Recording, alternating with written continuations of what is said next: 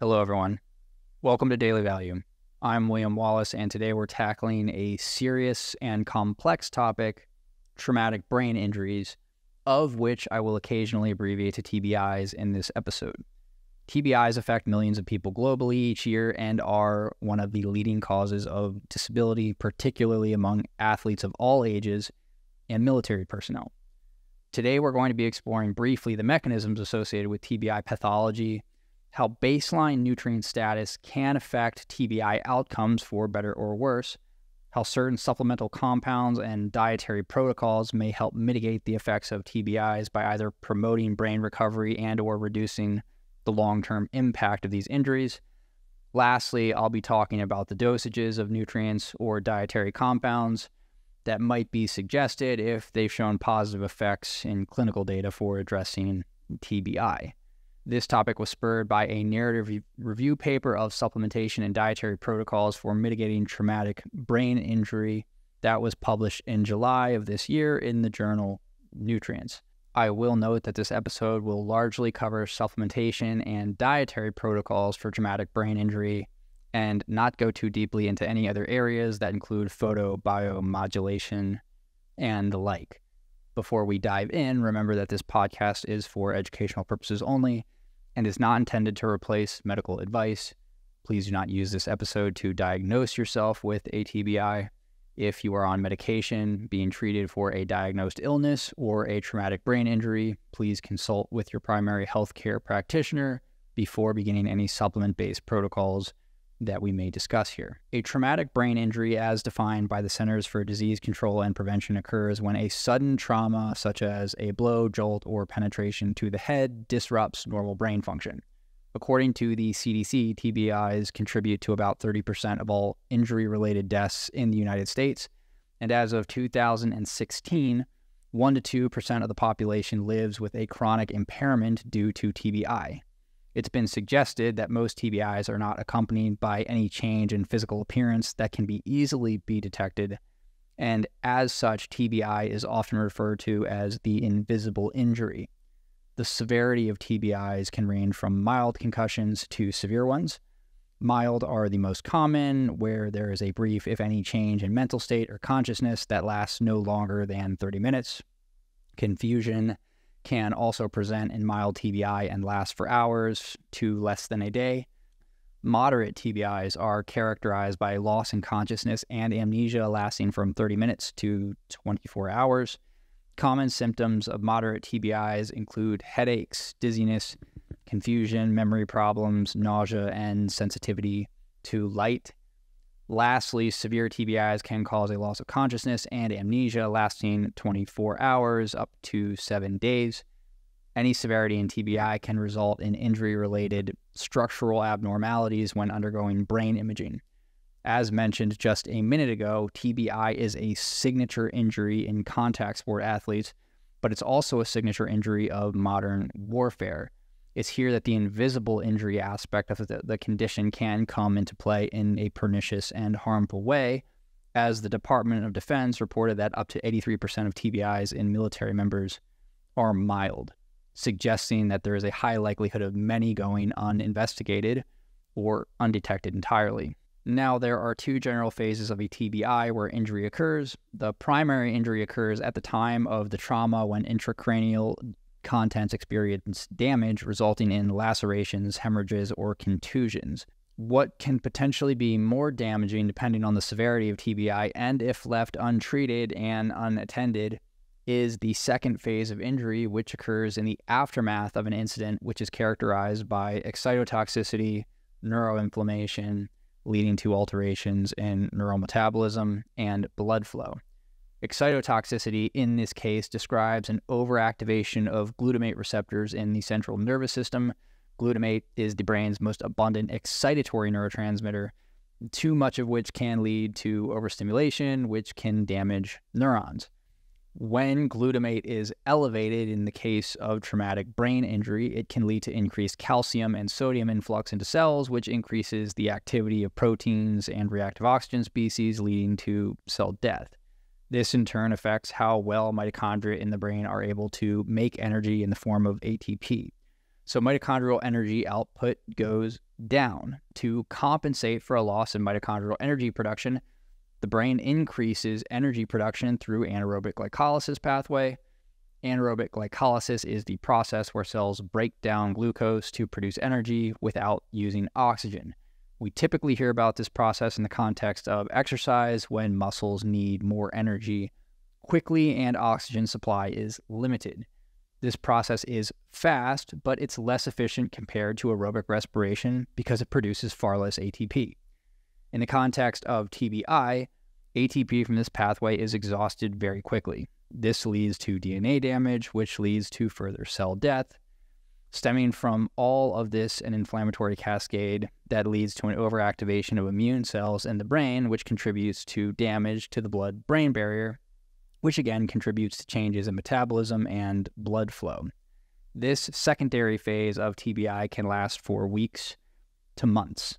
It's important to note that not all characteristics and mechanisms of TBIs outlined are relevant to all injuries or all head impacts.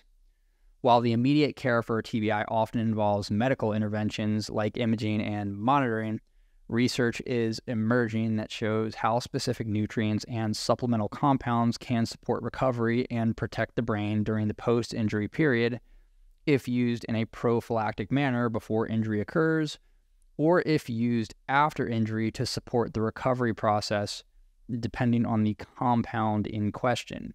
Firstly, it's important to state that there's strong evidence to suggest that baseline nutrient status plays a large role in the prognosis after TBI. As such, criteria number one when dealing with people at risk for TBI should be fulfilling micronutrient requirements under normal conditions and as best you can through regular dietary practices. The very first food derived nutritive compound that the narrative review from Conti et al. mentions is creatine, and for good reason. Creatine's most characterized and well known function in the body is helping maintain ATP levels in high energy turnover cells like the brain. After TBI, as I had discussed just a minute or two ago, the brain undergoes an energy crisis of sorts due to low oxygen blood flow and a reduced ability to produce energy. Research in rodents has shown that creatine supplementation reduced damage following a TBI by up to 50% in a TBI model. The protective effect was thought to be due in part to creatine's ability to preserve ATP levels, which helps to maintain the membrane integrity of a cell. Now, interestingly, a study in 2017 found that there was a significant decline in brain creatine levels in football players over the course of a season. Animal research does show that creatine levels drop in concentration following head trauma, as such, it would seem that creatine supplementation to raise or maintain brain creatine levels before head trauma were to even occur is a useful preventative strategy. Dosing strategies to increase creatine in the brain include creatine in doses of 20 grams or 0.3 grams per kilogram of body weight for five to seven days, or using over 4 grams of creatine a day for months at a time. The next compound or groups of compounds that we're discussing are omega 3 fatty acids, those being EPA and DHA specifically. Both of these omega 3 fatty acids may interfere with the inflammatory cascade by decreasing the expression and the activation of inflammatory genes following a TBI. Actually, they may help through multiple mechanisms as they've been shown to improve blood flow in the brain of hypertensive adults, but also their metabolites known as pro resolving mediators are responsible for resolving inflammation and repair after an injury. I'd have to dedicate a whole episode to pro resolving mediators because those are some very interesting compounds and it takes some time to explain. There are actually supplements available now that have these concentrated omega 3 metabolites that could be quite useful uh, for pre and post TBI. Anyways, the review suggests that omega 3 fatty acids should be taken in doses of 2 to 4 grams per day with two of those grams coming from DHA at the higher end of dosing. Two grams of DHA has been shown in the past to reduce neurofilament light chain levels in college football players. Neurofilament light chain can be a marker for brain injury. Riboflavin, otherwise known as vitamin B2, is the next nutrient of interest. Riboflavin is a major coenzyme involved in ATP synthesis in the electron transport chain. For this reason, it's been used in high doses to treat migraines in past clinical research. A study published in 2023, so very recently, found that 400 milligrams a day of riboflavin for two weeks given to people post TBI significantly reduced recovery days by over a week compared to people taking a placebo. Now, 400 milligrams is a very large dose, but has been shown to be well tolerated in the migraine research I mentioned before this TBI research. Magnesium is up next.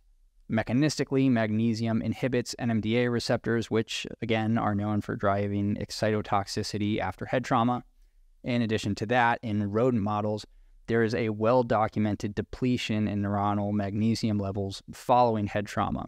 The extent of magnesium depletion coincides with the severity of head trauma and the level of behavioral abnormalities that animals experience in those models when magnesium is resupplied, behavioral abnormalities, memory, and motor function return more quickly compared to when it's not given.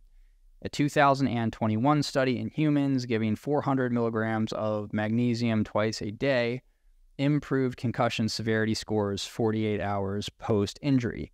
That probably will lead some people to ask, well, what form of magnesium is best? To which we can mention that Acutely, some forms of magnesium will preferentially accumulate more neural tissue compared to others, those being magnesium threonate, taurate, acetyltaurate, and possibly glycinate. However, there's currently no hard evidence that any one form of magnesium definitively works best for TBI protocol outcomes. There are a few other compounds the review mentions, but in the interest of time, I will mention three things with more evidence compared to the remaining that I have not covered, one of which is the botanical Boswellia serrata. Mechanistically, active constituents of Boswellia, known as boswellic acids, inhibit an enzyme called 5 lipoxygenase.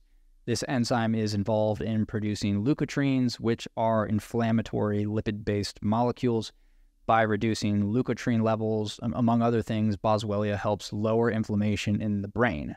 There are three trials in humans that have used Boswellia with some success in those recovering from head injury or stroke.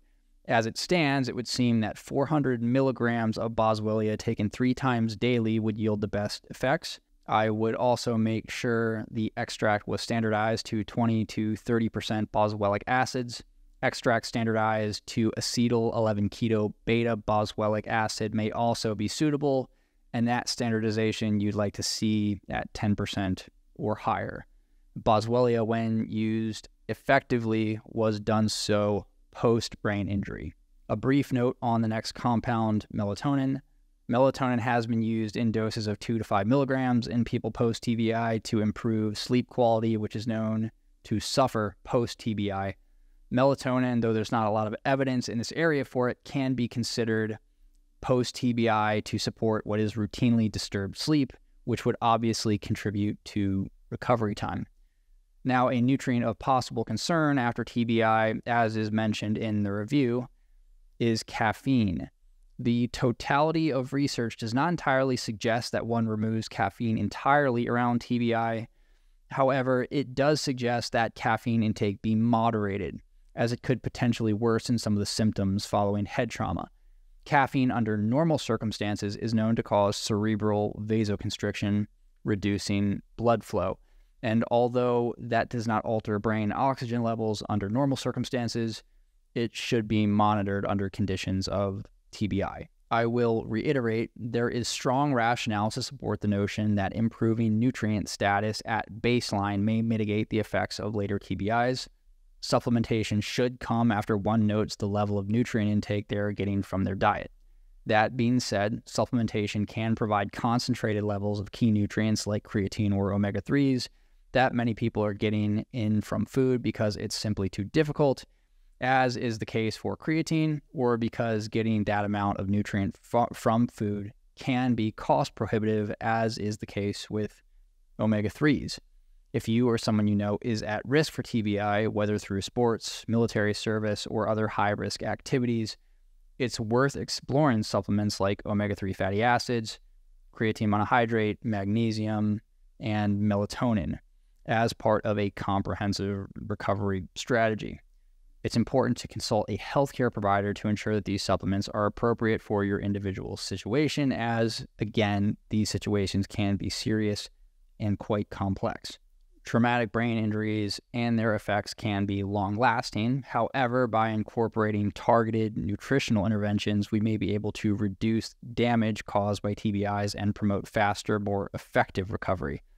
Omega 3s, creatine, magnesium, and melatonin are just a few of the promising nutritive tools. More research is needed to fully understand their potential here. Thank you for tuning in to Daily Value. If you found today's episode helpful, be sure to subscribe and share this podcast with anyone who could benefit from this information. Until next time, stay safe, take care of your brain, and stay healthy.